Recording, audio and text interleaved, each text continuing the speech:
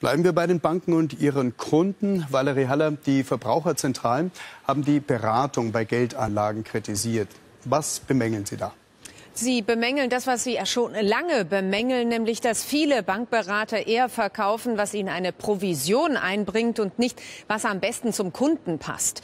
Und häufig seien die Produkte deswegen zu teuer, zu riskant und zu unrentabel. Und sie sagen, Schuld ist das System. Bessere und qualifizierte Beratung funktioniere nur, wenn Beratung und Verkauf getrennt würden. Wenn die Berater eine spezielle Qualifikation für den Job haben müssten, Außerdem sollte die Qualität der Beratung von staatlichen Behörden überwacht und Verstöße sanktioniert werden.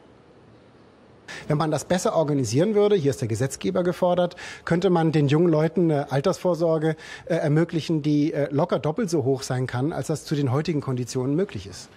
Die Banken setzen der Kritik der Verbraucherzentrale entgegen, dass ja fast 90 Prozent der Kunden mit der Anlageberatung zufrieden seien. Dafür jedoch müssten die Kunden die Produkte auch verstehen, die sie gekauft haben. Das tun sie aber leider häufig nicht. Auch das hat die Verbraucherzentrale herausgefunden. In Großbritannien gibt es übrigens ein Provisionsverbot für Finanzprodukte.